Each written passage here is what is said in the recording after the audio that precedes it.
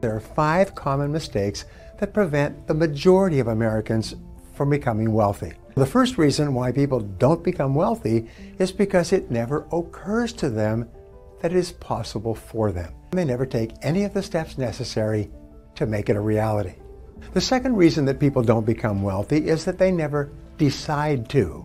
Even if it occurs to a person that he could become wealthy if he just did certain things in a certain way, if he doesn't decide to take the first step, he ends up staying as he is. The third reason that people don't become wealthy is procrastination. Even if it's occurred to a person that they can become wealthy and they have made a decision to change, procrastination will push all their plans into the indefinite future and nothing will ever happen. The fourth reason that people retire poor is what economists call the inability to delay gratification. If you cannot delay gratification and discipline yourself to refrain from spending everything you make, you cannot become wealthy. The fifth reason that people retire poor is perhaps as important. It's a lack of time perspective. The amount of time that you take into consideration when planning your day-to-day activities and when making important decisions in your life. People with long time perspective almost invariably move up economically in the course of their lifetimes. Money flows away from those who use it poorly or who spend it in non-productive ways. Here now are the absolutely unbreakable laws of money. Number one is the law of abundance. We live in an abundant universe in which there is sufficient money for all who really want it and who are willing to obey the laws governing its acquisition. Your attitude of either abundance or scarcity toward money will have a major impact on whether you become rich or not. Individuals become wealthy because they believe they have the ability to become wealthy. They consistently do the things that turn their beliefs into realities. Why aren't you rich already? This is an important question to ask yourself. Your answers will expose your self-limiting beliefs, your doubts, your fears, your favorite excuses, your rationalizations, and your justifications. Write down all the reasons you can think of. Whatever your reasons or excuses, you can now get rid of them. The world is full of hundreds and thousands of people who have had far more difficulties. They've gone on to be successful, and so can you. Number two, Parkinson's Law. Parkinson's Law is one of the best known and the most important laws of money and wealth accumulation. This law says that no matter how much money people earn, they tend to spend the entire amount and a little bit more besides. No matter how much they make, there never seems to be enough. The first corollary of Parkinson's law says financial independence comes from violating Parkinson's law. It is only when you develop sufficient willpower to resist the powerful urge to spend everything you make that you begin to accumulate money and move ahead of the crowd. The second corollary of Parkinson's law is this. If you allow your expenses to increase at a slower rate then your income increases, and you save or invest the difference, you will become financially independent in your working lifetime. From this point onward, resolve to save and invest 50% of any increase you receive in your income from any source. This still leaves you the other 50% to do with as you desire. Number three, the law of three. There are three legs to the stool of financial freedom. Savings, insurance, and investment. To be fully protected against the unexpected, you require liquid savings equal to two to six months of normal expenses. The very act of saving this amount of money and putting it into a high-yielding savings account or a money market account will give you a tremendous sense of confidence and inner peace. The second corollary of the law of three says that you must insure adequately to provide against any emergency that you cannot pay for out of your bank account. Always carry sufficient insurance to protect yourself against an emergency that you cannot write a check to cover. And without adequate insurance, you are taking risks that you simply can't. Your ultimate financial goal should be to accumulate capital until your investments are paying you more than you can earn on your job. This seems like a very simple lifetime planning strategy But it's remarkable how few people follow it and how many people end up at the age of 65 with very little put aside. Number four, the law of the compound interest. When you let money accumulate at compound interest over a long enough period of time, it increases more than you can imagine. You can use the rule of 72 to determine how long it would take for your money to double at any rate of interest. For example, if you were receiving 8% interest on your investment and you divided the number 72 by 8, you would get the number 9. This means that it would take you 9 years to double your money at 8% interest. The key to compound interest is to put the money away and never touch it. Though you spend only a small amount today, you will be giving up what could be an enormous amount later on. If you start early enough, invest consistently enough, never draw on your funds, and rely on the miracle of compound interest, it will make you rich. Begin a regular monthly investment account and commit yourself to investing a fixed amount for the next 5, 10, or even 20 years. Number 5, the law of magnetism. The more money you save and accumulate, the more money you attract into your life. The more positive emotions you associate with your money, the more opportunities you will attract to acquire even more. The first corollary of the law of magnetism as it applies to money is that a prosperity consciousness attracts money like iron filings to a magnet. This is why it is so important for you to start accumulating money, no matter what your situation.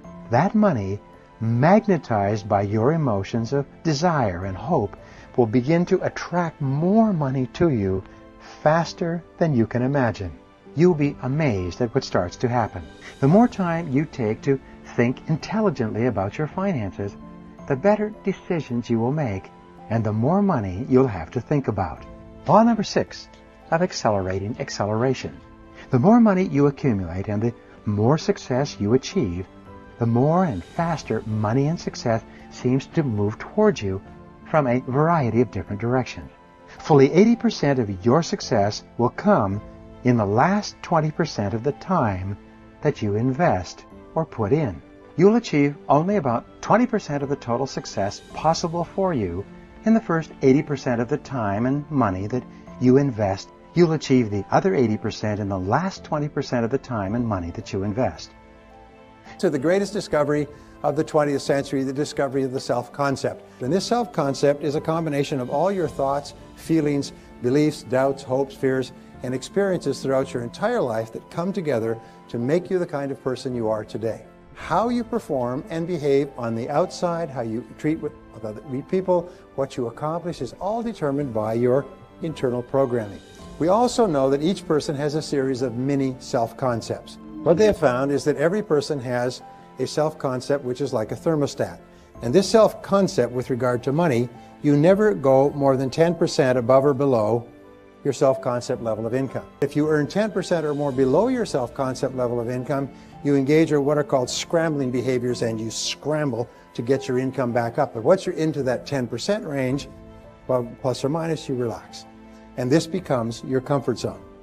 And the great enemy of human success is the comfort zone. The only way that you can increase your income is to change your self concept in relationship to income. Your overall self concept is determined by your self concept in all the areas of your life that you consider important. Is that your self concept is made up of three parts. Number one, it's made up of your self ideal. Your self ideal, like three wedges of a pie, consists of your values, it consists of your ideals, it consists of your goals, it consists of your hopes, it consists of your dreams, it consists of all those things that are inside you. There's a direct relationship between how clear you are about your goals and ideals and your self ideal. What do we know about top people? Top people are clear about what they believe in and they don't compromise their values. What do we know about little people, weak people? Is they're very confused about their values and they compromise them for the slightest advantage. Uh, the second part of your self concept is called your self image. Your self image is the way you see about yourself and the way you think about yourself. Your self image is called your inner mirror. Whenever you go to do anything, you check this mirror. Before you go in to see somebody in a sales call, you just kind of check your inner mirror to see how do I perform in sales calls. And your performance on the outside is largely determined by your self image. Remember, most people look at a mirror. Intelligent people realize that whatever they see in their outer world is coming from themselves. So they always ask this great question is what is it in me?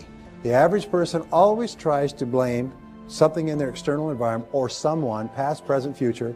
The third part of your self concept is your self esteem. Your self esteem is the most important part of all. This is the emotional part of your personality. Whenever your self image, your personal performance, is consistent with your self ideal, the person that you would most like to be, your self esteem goes up. Whenever you do something that's not like you, you blow up, you get mad, uh, you swear, you do something that, you know, that's not consistent with the best person you could be, your self esteem takes a hit.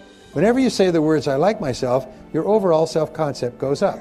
Your self image improves and your self ideal clarifies. And as your self image, as your self concept goes up, your performance and your behavior in every part of your life goes up as well. So if you keep repeating, I like myself, I like, what happens is eventually it becomes a habit of thinking. You wake up in the morning, and say, I like myself. Throughout the day, you say, I like myself. Somebody's rude or difficult to you, you say, ah, doesn't bother me, I like myself.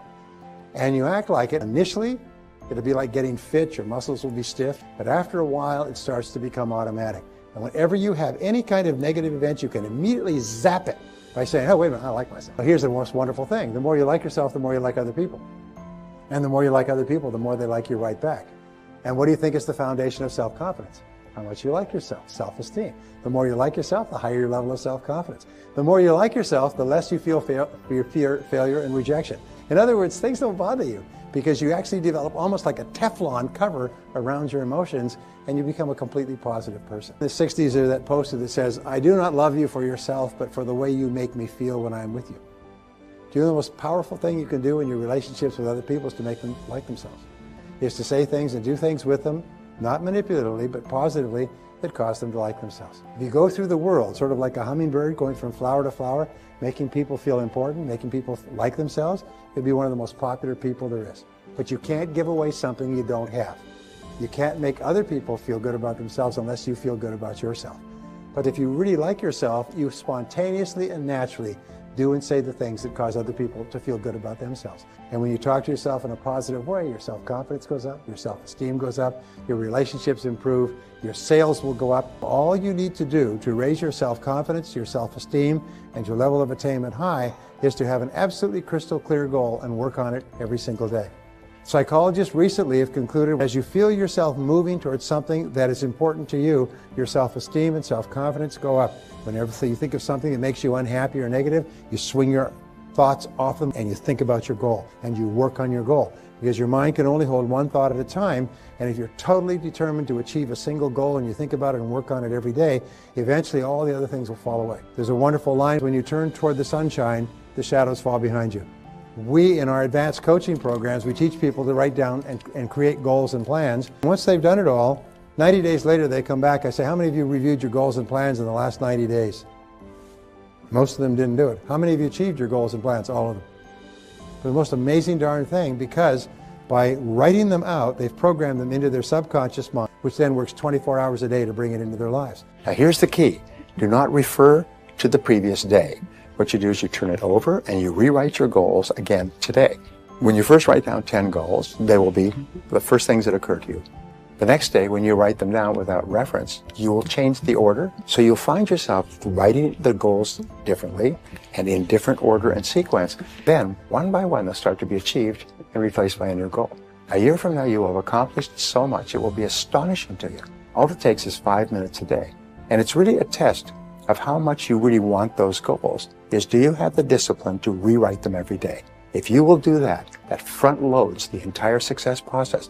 You know, the very act of writing goals raises your self-esteem, it improves your self-image, it increases your self-confidence, and it activates your creative mind. You start to see all kinds of ideas and ways to achieve the goals that you've written. It's literally life-changing, that one technique. I have never written a goal that I didn't achieve. And I've gone from literally from rags to riches. Uh, and it was exactly what I wrote down. Write down what you want and make it clear so that the universe can help you get it. Create within your mind the mental equivalent of what you would like to see on the outside. If you will do that, all the mental laws that we've talked about and many more that we haven't had a chance to go into, and what you want will appear on the outside by the law of cause and effect, belief, expectation, attraction, correspondence, and so on. Take a clean piece of paper when you get home and you're going to write down 10 goals. And these goals, you, you can write more than 10 if you like, but you must write a minimum of 10. These goals are one year goals approximately. You write them in the present tense as though a year has passed and you are reporting they've already been achieved. I have taken people through this exercise all over the world once. And I come back a year or two years later and they say the same words in every language. You won't believe what's happened to me. You won't believe it. I found those goals in something a year later and you won't believe what's happened to me. I've accomplished all the goals. When you write down a goal, you activate three learning modalities. The visual, you can see it. The auditory, you sub-vocalize it, you say it to yourself. And the kinesthetic, you write it. All three together, and it goes straight into the subconscious mind. You just go on with the rest of your life, and 24 hours a day, this great superconscious mind is working to bring the goal into your life. When you get a chance, you sit down and you write this goal at the top of a page and you set a deadline for the goal. When you get up in the morning, you think about the goal. When you go through the day, you think about the goal. Whenever something gets you off track, you stop with it, think about the goal. Because the goal is always inherently positive. When you think about the goal, you become happy. You move toward the goal, you feel powerful. You feel like a winner. You feel like you're in control of your life. And once you know you can do anything you put your mind to, your self confidence will go through the roof.